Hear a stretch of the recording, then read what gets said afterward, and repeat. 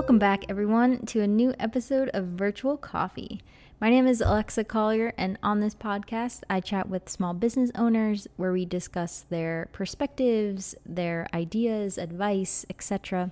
And sometimes I do solo episodes to share what's been on my mind. Now, with me today is Taylor, the founder and owner of Pawsitivity Designs. Taylor is located here in the Raleigh area, and she sells hand designed pet portrait apparel, customizable bandanas for your pets, decals, bags, and other accessories. Her stuff is really cute and really well designed. Um, and she is a true dog and animal lover, which I love. Um, and I especially love showcasing a small business like Pawsitivity Designs that gives back to rescues and shelters. Now, before we jump in and hear from Taylor, as always, I'd appreciate it if you could rate and review Virtual Coffee on the Apple Podcasts app and on Spotify helps others discover us and also discover the small businesses that we feature. You can also follow us on social media Instagram, Facebook, TikTok, all the socials. It's all at Virtual Coffee Podcast. As always, thank you so much for tuning in. I know you'll enjoy this episode, so let's dive in and hear from Taylor.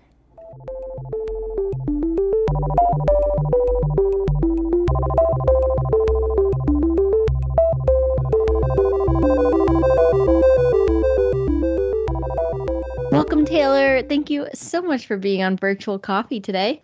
Hi, thank you so much for having me.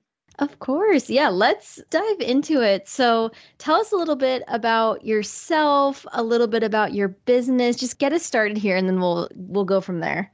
Um, well, my name is Taylor. I am the owner and operator of Pawsitivity Designs. I'm originally from New Jersey, but I have relocated, you know, to Garner my two dogs are the reason behind my business. I rescued them while I was in college off the side of the road. Aww. And um, my whole career has pretty much been based around dogs. After I graduated college, I worked for the American Kennel Club in Manhattan and immersed my life into everything rescue dogs and just dogs in general. Yay, that's awesome. Yay for New Jersey and yay for rescue dogs. Um, yes. we we also rescued our two dogs and I'm huge huge promoter of rescuing. Um, so that's that's wonderful to hear. Before kind of diving into the specifics of your business, I want to dive into your background. So what did you go to school for? Was it, you know, related to your business, something completely different? Did you just kind of discover you know your path to this business like through your passion for dogs and rescuing? It sounds like yes but what was your i guess your background? You know some people have a very specific skill set that they transfer to the business that they own and some people go the complete opposite and just follow their passion. So what was your your path? I changed my major like six times in college and i ended up graduating with a communication degree um, in public relations Okay. And while I was in college, uh, the last year, actually, I was working at a small boutique in the area, mm-hmm. and they had all the machines that I currently use. So, like, well, they had a silhouette, a Cricut, heat press, the vinyl, all all of it, and I was so like, wow, I can make anything I want. Like, this is really cool. So when I graduated, I had gotten a job with American Kennel Club for social media. So okay. I was kind of already like in that realm with school and everything. And then, you know, once I was working for AKC, like one Christmas, I was like, I just really want a Cricut. Like, please, someone get it for me.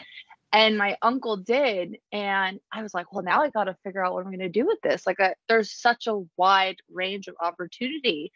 I've always been passionate about animals in general my whole life, but just being in the company and seeing how much you know rescues really needed a voice for them mm-hmm. i was like wait a minute this could this could work and then i actually went shopping and i got this little water mat for my dog's water bowl yeah. and it said stay positive on it and it just like i was just standing in my kitchen and it just like clicked in my head and i was like that's what my business name is going to be and i'm going to do stuff for dogs I want to help rescues. I just want to do the whole nine yards. So I kind of wow. like kind of mixed everything in from college to start my business. And it was like easy because I had the background of like knowing how to make everything already. Mm-hmm. And then, you know, in the social media part of what my career started as definitely helped you know launch my business um, so yeah i kind of just took everything and put it all together that's neat and i think you highlight a good point that really a business encompasses so many skill sets so yeah. almost anything you have either whether it's from college or just experience you can transfer somehow into running yeah. your own business right like yeah, to your point, kind of even your social media experience, um, mm-hmm. like that's huge for for yeah. business. Getting into some, you know, some of the products you sell, do you actually draw anything out? Like, have you always been artsy, or do you do a different route where you don't actually need to draw the things out? It's a little bit of everything. Like I just okay. You know, random fonts I'll pull from the internet and what use those. Um, but I kind of always had a creative background. My mom is actually a graphic designer. And so in college, when I switching around majors, yeah. I took a bunch of photography classes, Photoshop classes. Like I just kind of wanted to immerse myself into that because I knew I wanted to go into some type of communication field and social media. So I knew I had to have that creativity behind me. And also, I just in my regular life like crafting things too. Mm-hmm. So I do draw like the portraits that I self, And then I will spend hours on end just kind of making 20 mock ups of a design idea that I have. And I'll kind of narrow them down from there. But yeah, so everything I would say it's a good good mix of things that I draw and then obviously some help from the internet. yeah, yeah. No, that makes sense. That's neat. Yeah, definitely sounds like you do have that kind of artistic background and are able to leverage that for Pawsitivity Designs. Is this your full-time job? Were you able to make Pawsitivity Designs full-time or is it still kind of I don't want to say side business because that's not the right wording, but is it in addition to a- another job? Um, so it was when I was working at AKC um, okay. up in the city. So we kind of had a mutual parting, I would say. Mm-hmm. so I, I didn't have anything else besides Pawsitivity. And I kind of just took all the time that I had during the day that I would usually spend wor- like working nine to five, just putting all my attention and energy into Pawsitivity and making it what it is today. Um, so right now, I it is full time. I'm starting wow. to plan events. Um, I do some like dog walking on the side, but I also do that specifically to like get my name out there too. Yeah. And then all the dogs that I get to walk, I use them as models for my store. That's awesome. I yeah. love that. That's a neat idea. yeah. no, that's really cool. Congratulations taking it full time. I mean, that's a huge, huge step. Um, any advice there or reflections of taking it full time? Like, you know, sometimes I think, oh, what I could do with this podcast if I took it full time, which right now yeah. that's just not not in the plans for me, but there is something about that, right? Being able to dedicate all of that time that you would spend working at maybe more of a corporate job to to your passion. So, any advice or or reflections on that how that went? I used to joke like finding a job in general, I feel like is a full time job because you spend mm-hmm. hours and hours searching all these links, doing research on the company and filling out applications and stuff. And I'd kind of gotten a little let down from my mm-hmm. options. Mm. And when I was like, you know what, I- I'm spending all this time applying for jobs, like, why don't I just do my own thing? And I would say, like, at the time, it was more like 2019 I mean, it what there wasn't a lot of pet boutiques out there. Like I think that's when that everything had just kind of started. And yeah. so I was like, I just gotta, I gotta dive in. I gotta give this my time. I will say it was very stressful. Thankfully, had a lot of support on my end. My boyfriend, my family, like everyone was like, you can do this. Like you love animals, you love designing things. Like you can do this. And you know, it was slow at first, but then it started to pick up, and I was like, wow, maybe I can do this. So I, I would say like the biggest thing I've taken away from it is like the support and like self confidence that you need to have to just push through. I mean, there's going to be days where you're like, why am I doing this? You know, this is stressful. Like maybe, you know, money wise, it's not doing well right now, or, you know, I had a bad market or something. But then, you know, on the really good days, or when I, you like for me, I landed my first event, I was like, this is exactly why I'm doing this. yeah, yeah. So just have to, I just got to keep pushing. That's like the biggest thing I can say. No, I think that's great, great advice and a great perspective. And that feeling of the highs are so high and the lows can be so low. I think everyone can Mhm. relate to that. And to your point, it's just pushing through the lows to get to get to the next Yeah. high and and to really stay consistent. That sounds like the key of just keep going. And if you you know that you're passionate about it and want to do this thing, like just keep going, Yeah. keep trying. I'm sure people get to a point where yeah, it's it's no longer realistic to do it full time or something, but you got to keep trying, right? Uh, Um, unless you're actually at that point, why why stop? Why why not keep going? Well, like you said too, the passion part is also Mhm. really important because there has been a few times where I've like, hmm, maybe I can do this too. And I just wasn't passionate about it. I wasn't going to give it the Yeah. attention that it needed, but I'm so passionate about what I do and like the animals that I see and res- help rescue and stuff like that. So the passion has to be there or it won't work. Yeah, I totally agree. And I also like how your business came up naturally in the sense that you already had a passion for dogs rescuing, like in this topic or area, right? You were already passionate about it. It's not like you were trying to force something onto yourself that that just wasn't a match. Your your life kind of led you to this and you were able to take that opportunity and and build the business Yeah. want to dive into more of the the products that you actually sell so of course don't have to describe every single one of them but for audience members who are listening and are might be unfamiliar with Pawsitivity Designs what are some of the things you sell and create So we started, or I started, I say we a lot for my business Mhm. because I do Yeah. have some lovely volunteers nice every now and then. If I have so many orders, I have my cousin that will come help. I have, you know, some of my close friends, and then my Mhm. boyfriend gets lumped into it too. yeah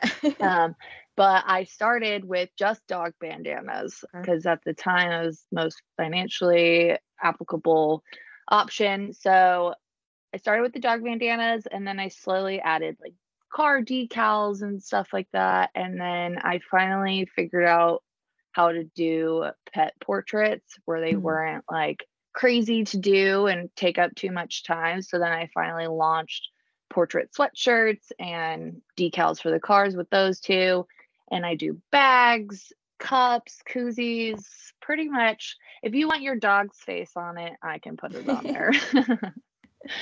your products are very very cute and i like i like your portrait ones because they're not like i like how you sketch them out it's more like the line kind of like detailed Yeah. line drawings and i, I like that style a lot Thank you. When I was testing them, like Yeah. I said, like they were getting a little too complicated if I didn't just do the line sketching. Mm. And when I showed some previews, everyone was like, Ooh, I like those. Those are simple. and I'm like, okay, we're good. yeah no exactly it's like from a from my perspective i feel like you're able to wear your dog's face without it being like obnoxious you know it's not like a photo of your dog plastered on your your sweatshirt so yeah, Yeah. they're they're awesome i'm always interested in how business owners take that first step of even take the the sweatshirts for example.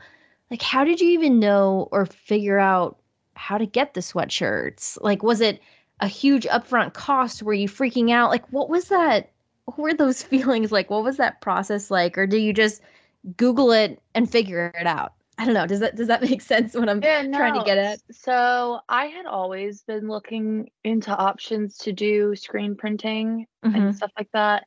Um, right now, I just have vinyl, but my boyfriend's dad works for a small company in Massachusetts that does like t-shirt printing and design.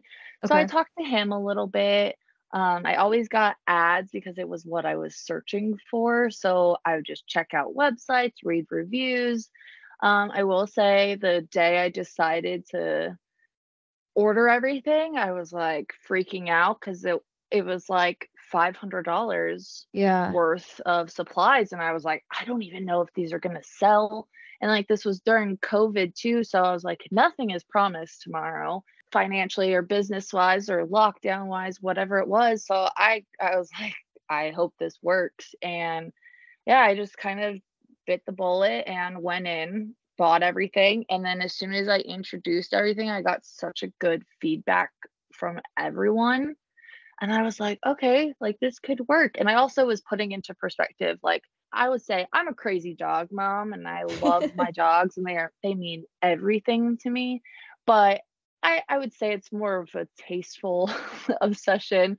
Like you said, if I just had pictures of my dogs plastered everywhere, I feel like it would be like a little over the top. But like with what I do, I'm like, I want to wear this out. I could wear this, you know, to the gym, out grocery shopping, whatever. People are gonna be like, oh, she loves her dogs, but it's not like I've seen people with like the phone cases to just right. have the dog's face on it. But yeah, so it's kind of a mix between what would I want to wear and what would I want to see people wearing out. And I just knew in general, loungewear, especially with COVID, loungewear was what everyone was wearing. Everyone was at home. So I was like, let's just take it comfortable first. And so I did the sweatshirts and the t-shirts and it was honestly the best decision I ever made because I said I don't want to stop selling bandanas, but I definitely have moved more towards the apparel side with the portraits and stuff. But yeah, I just I had to do it. I appreciate you sharing that because I think it's easy especially even on this podcast, right? We often talk about the outcome or the result, but I think people forget like you as the business owner do have to put in all your money up front like even just buying those those sweatshirts to print on. And you you take yeah. that risk you take that leap. And i can imagine that's really scary because yeah for some people it doesn't work out. And for some people it it does. And there is a little bit of a, a lot of bit of risk there and right? Yeah. and it's i don't think people often discuss that because it's of course much easier to talk about the the outcome and the result. But i i appreciate you sharing that just giving some insight into the the behind the scenes. Yeah. I always find it it's inspiring every time I talk to someone who started their own business of just like wow, like you you had the guts to do it and I just I think that's awesome. It's very very inspiring. Thank you. Yeah, the first when I hit that order button, I was like, "Ooh, this yeah. yeah, yeah. No, it's yeah, it's it's great. I I love that you kept with it and are continuing with it one kind of logistical question I just want to make sure I ask uh, where do you ship? Are you able to ship within the United States, internationally? Kind of what are your boundaries?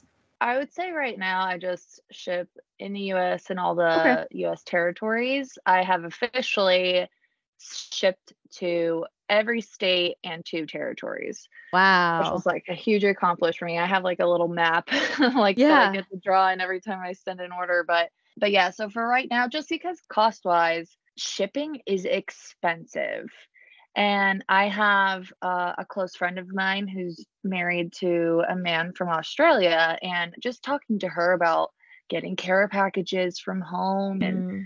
customs, like going through everything. And I just have been scared to like kind of go out of the US just because I, because I ship on Etsy right now, and Etsy helps and does such a great job of just giving me an easy option to buy a label. And I have opportunities to ship outside of the US through Etsy too, but I just think for right now, I don't want customs ripping through my cute packaging and, you know, potentially yeah. staining a sweatshirt, you know, because then I got to start that process all over again. So I think once I'm more comfortable and have like a better idea maybe I'll dabble in. But also, I want to kind of stay in the US just because I want to eventually like travel and do some vendor shows and stuff. Okay. Like I've done I've done shows in New Jersey and in North Carolina, but I would like to, you know, make relationships with people within the country because they would obviously just be so much more efficient if I could, you know, maybe drive to Virginia or South Carolina right. and do a show or something like that. So yeah, that makes sense. And congratulations on all the states. That's awesome. Thank you. Thank you. That's really cool. And diving into some of those markets a little bit, any local ones that that you're consistently at or um, i know a lot of our listeners are from the raleigh area just because that's where i'm located as well any like markets you want to shout out that people can find you at um, or can they find that on your instagram um, so I always post the events that we'll be at on Instagram, but I mainly stick to breweries. Found there the most dog friendly options. Um, yeah, that's true. And, you know, I love I love a good craft beer. So but yeah, mainly breweries. So I am in Deep River um, in Clayton a lot. That's where, when I moved back down here, that's where I started my shows. I do a lot of shows at Oak City Brewing in Knightdale. I've done Freckled Honeys Market in Cary. I'm trying to expand down near Fayetteville, Hope Mills area mm-hmm. too. I know there's some good breweries down there that I've been chatting with, and they have specifically like dog day markets. So I think that would be good for me. Um, but I like the breweries because, yeah, like a lot of the people I've met that do markets and stuff, they do markets all over the place. But like I like the brewery because people come with their dogs anyway. And if they just happen to find me, I ended up making like some of the greatest relationships with some of my customers just because they were like, oh my God, we didn't even know there was going to be a market today. But like, you're mm-hmm. here, we brought our dog, and you know, and they always, eh, the first thing they say, you can put my dog's face on that. I'm like, yep, I can. um, and I just, I like the atmosphere of breweries. I feel like not a crazy bar scene where mm-hmm. you know there could be problems. I feel like it's very family oriented and you know more relaxed than anything. That's a good idea to go to the breweries. Like you said dog friendly that makes total mm-hmm. sense. And then also to your point people likely are just showing up for like food and drink right? And then you yeah. happen to be there. It's like markets sometimes people go for the market. And if you have another vendor who's selling something similar or I don't know. I could imagine if you get the the wrong spot like in the line, you know, it can be kind yeah. of complicated or a little bit luck of the draw, but I, the brewery thing, I like that. That makes sense. Yeah. That's a nice There uh, have been some markets for me that I'm like, I am never coming back. Cause like you said, yeah. like I had a I had a bad spot and like that's not my fault. That's not their fault. Right. They made the right. map, you know, the day before. But it was just like I just spent five hours here. Yeah. I could have been working or doing something else. So I'm very, that's why I stick to the breweries unless the market is also like dog based. Mm-hmm. So I know I'll have somewhat of a good turnout. Yeah. I think that's actually a good piece of advice for other business owners of just even just doing your research on the market scene. Cause I think it's probably easy to just assume, oh, I'm a small business owner. I should go to markets. But yeah. Maybe just maybe just think about that like what other options might be. Maybe that is the best option for someone but don't just automatically assume it's it's the best. Yeah.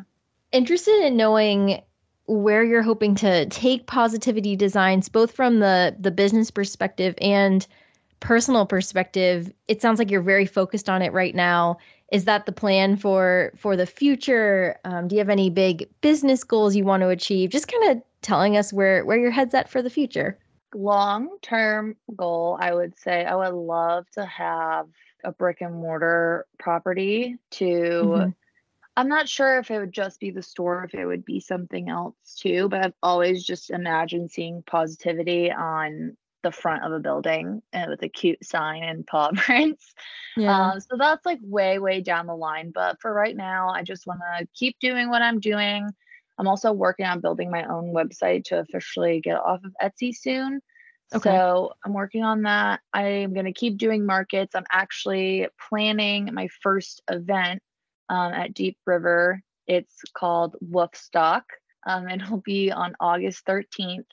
So I'm setting up the entire event. There's going to be rescues there, wow. food trucks, live music, a bunch of dog vendors, and just a day of beer, dogs, and you know, a bunch of love. So mm-hmm. I want to keep doing that. And I have a good feeling about this event. There's been a lot of good feedback on the promotion stuff. So I think it'll just be a good day. And if it works and takes off from there, hopefully I can do some other dog events at different breweries and stuff like that. But for right now, I just want to stick with what I'm doing. Oh, and I do, I would say, I want to get more involved with the rescues around here. There's a mm-hmm. few that I consistently donate to, but I would love to just get out there because even with planning Woofstock, a couple of the rescues I reached out to were like, we would love to come, but unfortunately, we just don't have volunteers to help with a booth. We don't have enough for that weekend or yeah, you know, we're okay. short staffed. And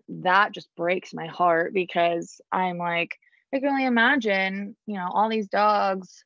Like I know how shelters work, but I what I love when I see people I'm just going to go walk some dogs at the shelter. Like I really want to start dedicating more time in doing that and working with rescues too. So, you know, if a rescue, if someone's adopted, like they can come to me and get their first bandana or something like that at a discount and kind of go from there and see what I can do with that.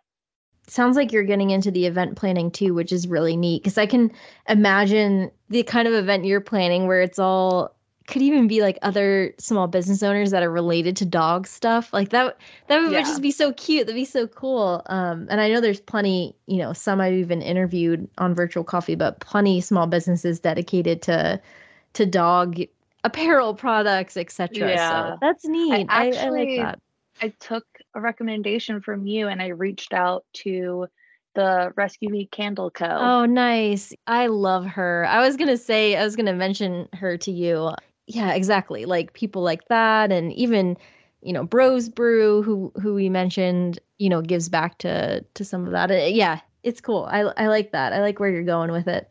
Thank you. Oh, I wanted to ask you if for other business owners who are listening in, do you recommend Etsy like just starting out? We don't have to get like too detailed, but just curious if that's something that you felt was a good platform at first and it sounds like some people once they get more established move off of it um, which makes yeah. sense but any like advice there to others i would say etsy is a great place to start for mm-hmm. anyone really because you're always going to have that market of people always searching for something looking for a gift or anything like that like there has been plenty of times myself included where i've been like oh i don't know what to get you know, my best friend for her birthday who has everything. Go on Etsy and I'll find something unique and cool. And that's something else is especially, you know, after COVID, everyone was all on board shop small. And I think Etsy is a great platform to start because you gain that audience you you know you pop up in related searches and it's just like people find you um, i will say there is a moment where you will outgrow it. And I think I'll always keep like a few listings on Etsy just to like keep that audience there. But as far as like some of the fees go, they may not work for you as far as like maybe wanting to take it full time. The marketing you have to pay for and stuff like that. But like I said earlier, like the shipping, I get a discount when I ship through Etsy instead of just going straight to the post office. So there's like like I said, there there's perks and it's a great place to start to gain your audience, but you will I mean, I, it'll to each their own too. Like you may mm-hmm. outgrow it and it may work for you full time. I know there's some Etsy shops that have been open for years and they make over two hundred thousand dollars on Etsy. Yeah. So yeah. why why would you stop? You know? So I think it's a great place to begin and then evaluate as you go. Right, right. Yeah, it sounds like uh, watching out for that moment where you might consider going external Etsy, um, but then considering, well, do you want to build your own website? Like, do you have that skill set or funds to hire someone? Um, what does yeah. that path look like? And yeah, just being mindful of, to your point, just evaluating along the way and being mindful of when you might want to leave or commit, commit to the yeah. website too. Yeah. Okay. Yeah, that's helpful. I like that when you took Pawsitivity Designs full time or even just started launching it, working with it, was it hard to work for yourself or did you find that fairly easy? This kind of comes from wondering how you balance work, life, friends, family. You know, how do you not work on the business 24 7? Or are there days where you're like, wow, I really should have done more? Like, I know I feel like that often with the podcast. Some days on the weekend, I'm like, ah, should have done more with the podcast. You know, I should have posted something. What was that like? Prior to being full time with Pawsitivity, I was already working at home um, okay. part time for the company in Manhattan. Not because of COVID, this was like pre COVID, but they were just moving offices. So it was just easier for me to be home. Mm-hmm. So I kind of already had that working from home life structured for myself, like with my own schedule. So I'd wake up, eat breakfast, and then dive into work and you know then i would take my a regular lunch break i would completely walk away from the computer and then come back. But I will say, as some time went on, I got a little nice to myself and gave myself more time to do other, I would say, meaningless things because most of it was watching a show or, you know, scrolling on social media. But I would say also, I mean, with COVID too, for a while I wasn't getting sales. And I mean, this was the beginning of COVID and everyone was freaking out. And I was like, okay, well, I got, I just got to keep going. And then, you know, everyone was home. So then we all had this time and, you know, to take some time away from, mm-hmm. you know, my family driving me crazy. I did. I just dove into work. But then I feel like in the last year or so, I have found like the good balance of I don't answer messages before 7 a.m. or after mm. 6 p.m. because I needed that boundary, especially with my customers. I'm happy to answer questions and, you know, help you out, but I need to eat dinner with my family. I need to be present in my life. And if I'm constantly answering messages, I don't think I would have a good connection like I do now with my family. But I would also say, like, like you said, there are days where I'm like, oh, I should have done more. I should have posted yeah. more. So I try and stick on like uh not a strict scheduling post, but I try and like have okay, three today, two tomorrow, this, mm-hmm. that. I try and plan the week out a little bit ahead of time. So because life is life and things will happen so I have like something to work with. Like, okay, I had this plan today, but I have to go get my car inspected. So instead of, you know, spending all this time on this, when I'm waiting while they're inspecting my car, I'll post something. Um, mm-hmm. Um, and I won't get too hard on myself if I miss like a time frame I wanted to post. Because also social media changes so much every day too that the algorithms don't work like they used to. So you kind of can post whenever and people are still going to see it. But I think making that boundary of, you know, like me, I don't answer before seven or after six, like has helped so much. And I think people understand too, like, I will get back to you. It's just not going to be at one o'clock in the morning when you're messaging me about a question you have on mm-hmm. an order. So I think that that has been really important, especially for like my mental health too. Like I don't want to be to the point where I'm so over obsessed or just like beat from doing this yeah. all day because I do. I have other interests and stuff I like doing outside of Pawsitivity. So I think just setting that boundary and finding what works for you because what works for me might not work for someone else. Mm-hmm. But also, I would say too, finding just a space. So, like my office, everyone knows, like, don't go in there. Mm. And so, while I'm working, you know, if they have a question, they can come in and be like, hey, like, you know, this, that. But other than that, if I'm in my office, don't talk to me. yeah. Yeah. A lot of great advice in there. It sounds like it does just take a while to find the routine and almost like the groove that works for you, especially when it's something new, like you are working for yourself, you are running your own business, and then setting those boundaries of whether it's a physical space or time or, yeah, boundaries of when you do certain things. What I'm hearing is kind of find the routine and the habits that work for you and it might take a little bit to to discover those or maybe they change, you know, based on the season, based on the year, based on what's going yeah. on in your life, but just being mindful of what works best best for you and maybe experimenting kind of along the way to figure it out. Yeah, I would say owning your own business is a lot of trial and error. Yeah. and you'll find that along the way that I said it might not work for you, but it could work for someone else and you just have to keep going until you find what works for yourself. That's why I think it's helpful too to hear folks like you like your stories and your your advice because maybe you just said something that someone who is running their own business is like, oh, I've never tried that. Like, let me give it a go and and see if it works for me. Kind of that trial and error experimentation mindset. Yeah. Um, wonderful. Well, Taylor, the the last question I ask all of my guests and and every episode with is in this moment, what is your proudest accomplishment? And it can be related to your business or something completely different. Just kind of that first thing that comes to mind. What is your proudest accomplishment so far? I would say my proudest accomplishment is landing being able to plan Woofstock. I have been talking about planning like my own doggy event for over a year, I know, but I just never had the means or the opportunity or the relationships to do so. And so over the last year, I have been building those relationships and bringing my customers to the brewery that I'm doing it at and just setting up for what my event is going to be.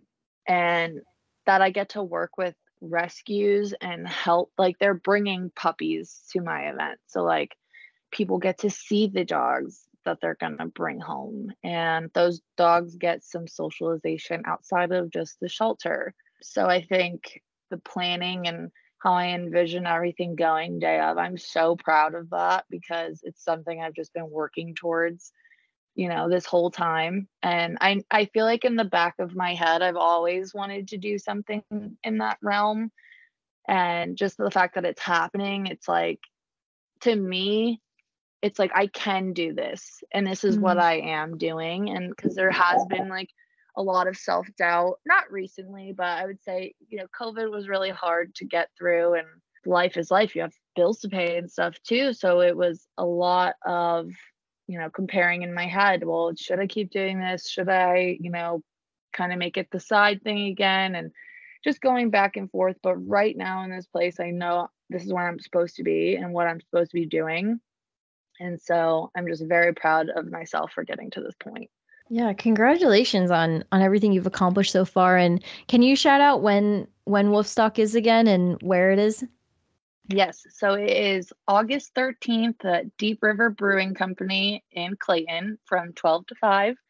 And then also after Woofstock, there's no set dates for these yet, but there's going to be an event called Pints and Pooches. and it'll be one one day of the month a rescue will come into the brewery and be able to showcase all the dogs that need adopting or fostering um, and just be able to make a relationship with those rescues as well. So, and I'll be there with my table setting up too. So, look out for that. Yeah. That's awesome. Yeah, and I hope everyone who is is local is taking down those details and you all can can meet Taylor in person. That's awesome. Wonderful. Well, Taylor, thank you so much for for being on Virtual Coffee and sharing your story, your advice, your perspectives. And before we officially sign off, where can people find you in Pawsitivity Designs website, Instagram, social media? Shout everything out. Easiest way to find everything is through Instagram at pawsitivity.designs and pretty much all the other handles are that too but you can everything is linked in our bio and um, the event info is also mainly on instagram. There's going to be a lot of previews of the raffle baskets and goodie bags and stuff this week. I have a i have a hard week coming up so um, just keep an eye out for all that. And i would say actually recently we've been growing on facebook too so you can find us there pawsitivity.designs as well Nice. Excellent. Well, again, thank you so much, Taylor. And I hope everyone checks you and Pawsitivity Designs out. Um, and thank you again so much for for being on the show. Thank you so much for this opportunity. It was so much fun.